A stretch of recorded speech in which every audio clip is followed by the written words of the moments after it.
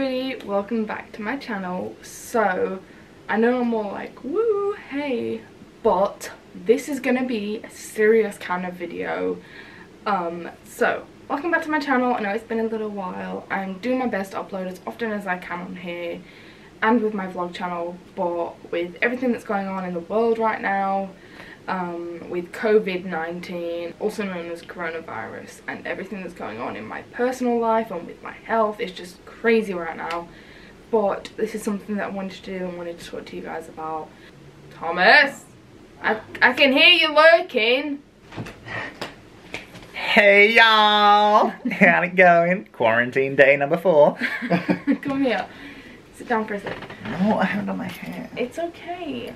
Is there anything that you want to tell the people? Any advice? No. Or anything about being in quarantine? Not quarantine, it's isolation. Use the hand sanitizer. If Make they- sure you what if they can't get it? Make your own. Out of aloe vera leaves and alcohol. Just straight vodka. I, I reckon there's actually quite a lot of things on YouTube. You should drink a video. What? How to make your own make hand your sanitizer sanitizer. from home? I guarantee there's loads. Alright, I'll try and find something. Trust him to come in and disrupt my video. But that's a good point actually because I know there is a worldwide, well I don't know if it's worldwide, but there's a massive shortage of hand sanitizer here because everyone's buying it like crazy. Um, so if you don't have any, make your own. So yeah, the two main things that I want you guys to get out of this video is how the coronavirus affects people with chronic illness and the elderly and two, how you can kind of protect yourself.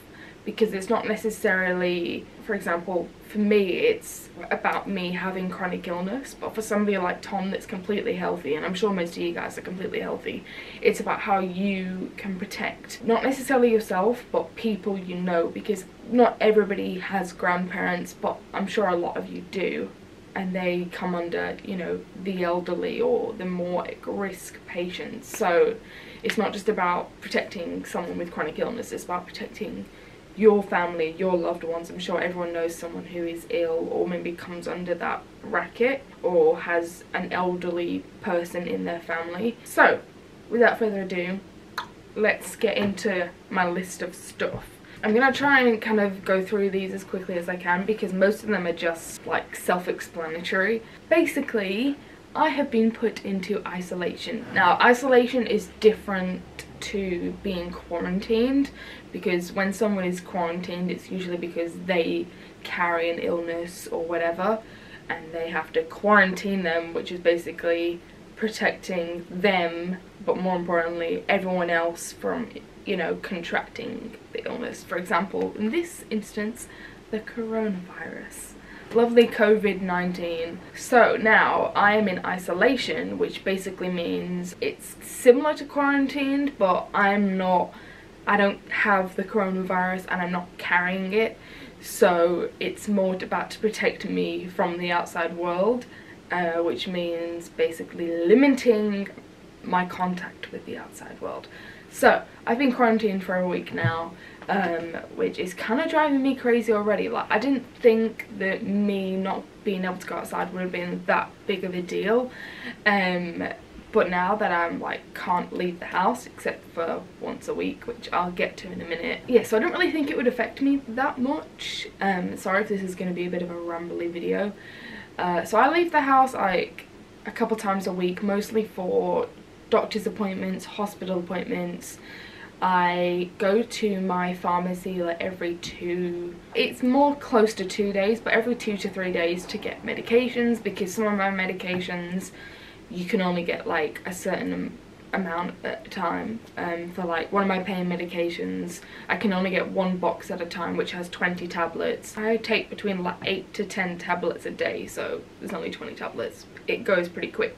So I have to go to the pharmacy at least like every two days.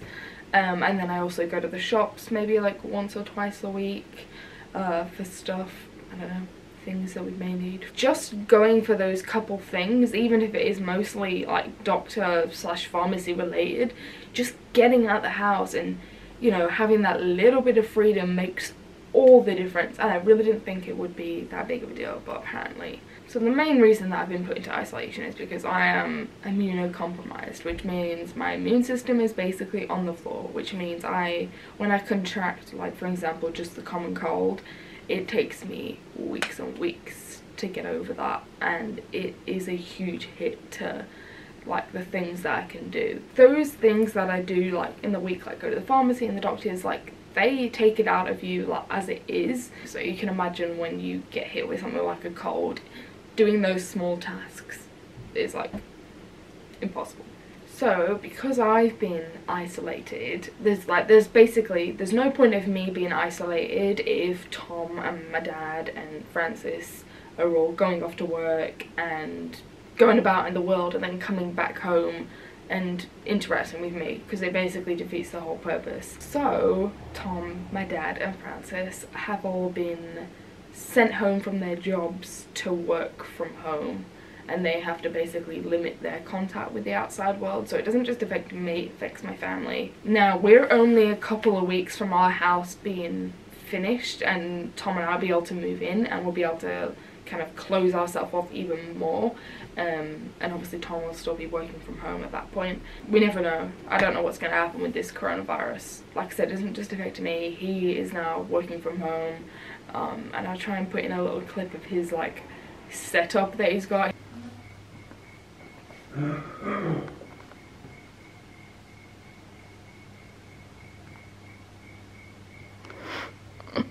He's got like he went to work and he went and got the his computer from work. Like not just his computer that he works from home on but like his monitors that he has.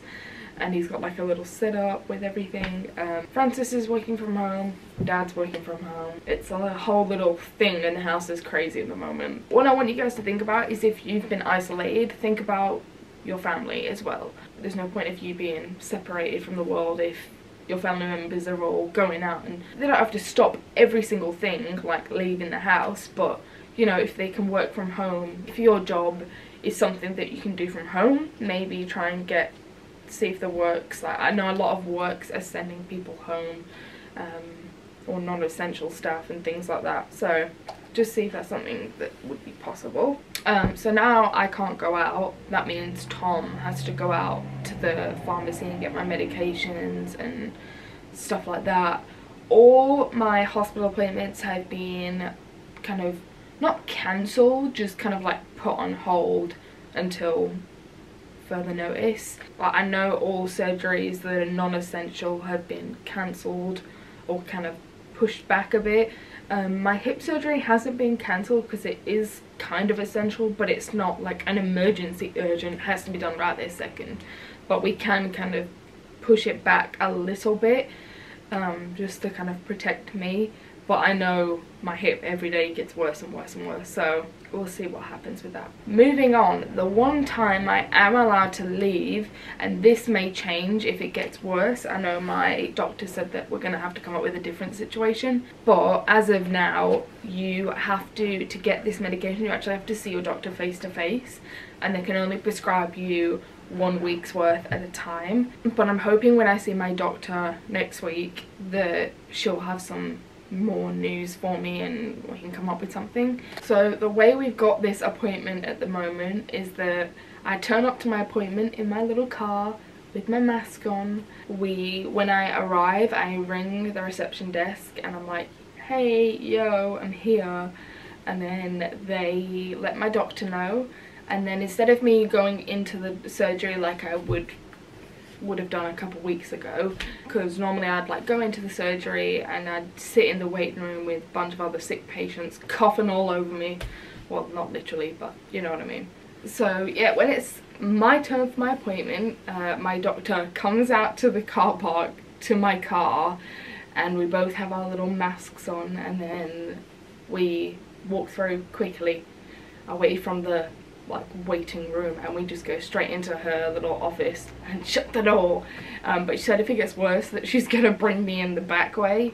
And then if it gets even worse where she doesn't she thinks it's too high risk for me to even come to the practice um, I'm sure we're gonna have to like FaceTime or some sort of situation that I can still get my prescriptions.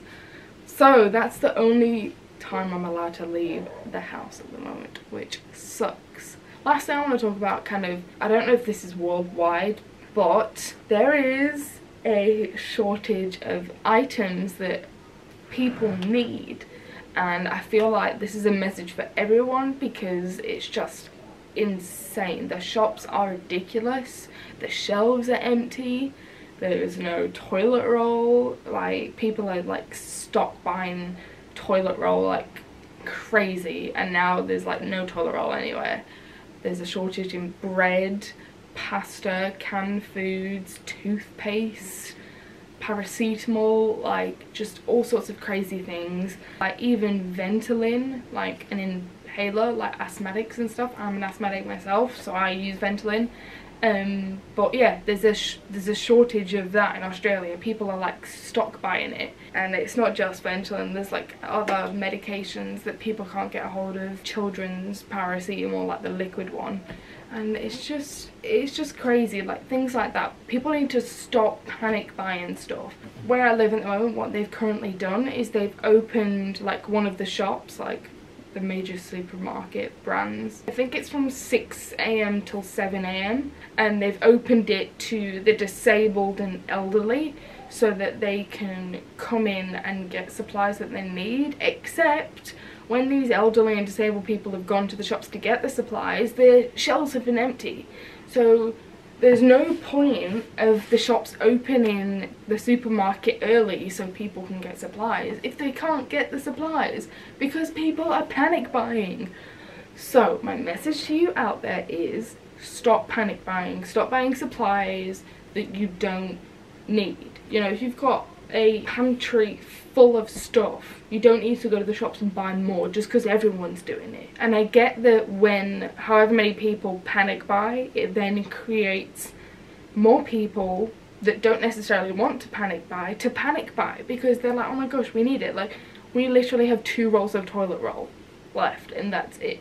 It's crazy. I, know that people need supplies, but it's not like everyone's shitting their pants. Like, who needs that much toilet roll? Who needs that much toilet roll? Oh, I know now they've put in a limitation to where people can only buy like one roll of toilet roll or one, not one roll because psh, that's going to last a day, I don't know. Depending on how many people you have in your household, it might not even last that. But one like thing of toilet roll, I think like one thing has like 32 rolls or 18 or something. Anyway, so they have put limitations in place to kind of stop some panic buying, but obviously there's still a lot of panic buying can go on. So hopefully they'll keep putting measures in place so people can't go crazy and buy ridiculous amounts of things. But it should have been put in from the start, like when this weeks and weeks and weeks ago when this first started getting like crazy. I think I've done enough rambling. Basically, what I wanted to say was just kind of open some of your eyes to how dangerous this can actually be to people like me. Like, if I was to contract this, I would have no chance. So, you know, I, I have to take every precaution and measure that I possibly can because I don't want to die. I know I've got a lot of illnesses, a lot of things that are going to limit my life. But this is happening now. Like, these things are like maybe five or ten years away or whatever. Like this is now. You know I could have another 10 years of my life if I don't get this. So yeah. Basically I just want you to think about if people like myself get this we're, we're dead. We don't have a chance. Um, you know if a normal healthy person like Tom was to get it he probably has a very very very good chance of fully recovering um, but yeah, so basically my main point is think about how dangerous it is to someone you may know and even if you're 100% healthy, what you can do to just prevent yourself from getting it. You know, wash your hands and there's all these kind of things that you can do to minimize your risk of getting it, especially in some of the countries where, you know, it's spreading like crazy. And secondly, if you can help it, please don't panic buy. Think about everybody needs supplies, everybody needs things like toilet roll and you know, Ventolin. Like, there's a lot of asthmatics out there, and if you can't, you know, if someone like myself that I don't want to say like I'm a severe, severe asthmatic, but there was a period when I was not being able to have Ventolin, which saves lives, is dangerous. So just things like that, just think about it before you crazy panic buy. And I know a lot of people were just buying Ventolin because they thought that it would prevent them getting the coronavirus like stupid things like that. Anyway guys stay safe out there wash your hands and do whatever you guys can to prevent yourself from getting this. And yeah stay safe. I love you all. Please smash the thumbs up button guys if you enjoyed this video even though it is a bit more of a serious video. And don't forget to the subscribe button. I'm going to try and upload as much as i can. Mwah! stay safe and i will see you in my next video